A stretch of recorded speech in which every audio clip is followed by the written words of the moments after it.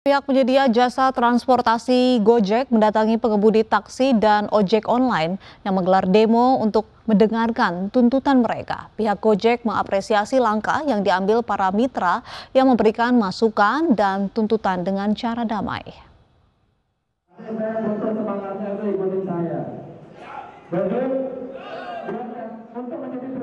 Saat pengemudi taksi dan ojek online menggelar demo dan berorasi di depan kantor Gojek di kawasan Blok M Jakarta Selatan, perwakilan pihak Gojek menemui pendemo dan mendengarkan tuntutan mereka. Pihak penyedia aplikasi angkutan online ini mengapresiasi penyampaian masukan dan tuntutan yang dilakukan dengan cara damai dari Sri Kandi kita. Gitu. Kami terima dengan dengan sangat lapang dada semua tuntutan yang hari ini. Satu hal yang mesti uh, teman-teman uh, pahami, segala sesuatu yang kami lakukan, baik itu tarif, baik itu insentif, kami lakukan untuk menjaga keberlangsungan pendapatan teman-teman semua yang ada di sini.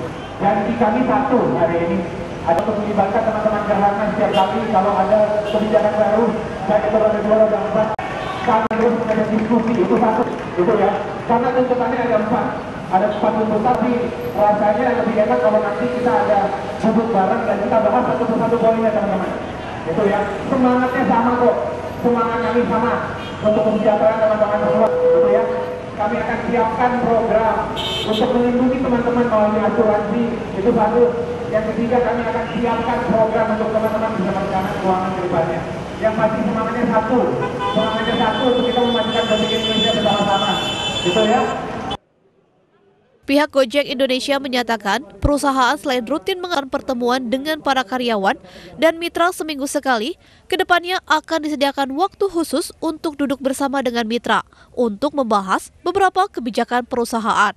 Dari Jakarta, Clarissa Aradia, Tri Julianti, iNews melaporkan.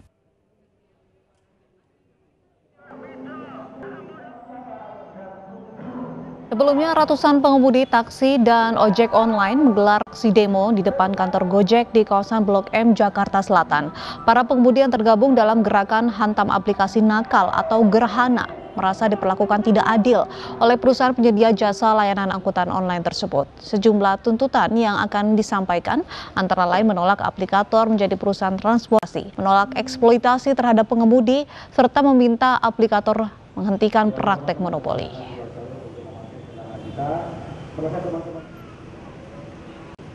Kami menolak keras aplikator menjadi perusahaan transportasi. Kedua, kami menolak keras dan meminta aplikator menghentikan eksploitasi terhadap pengemudi online. Kami adalah mitra, bukan budak aplikator. Ketiga, kami menolak keras dan meminta aplikator menghentikan prak monopoli dan kartelisasi bisnis transportasi online.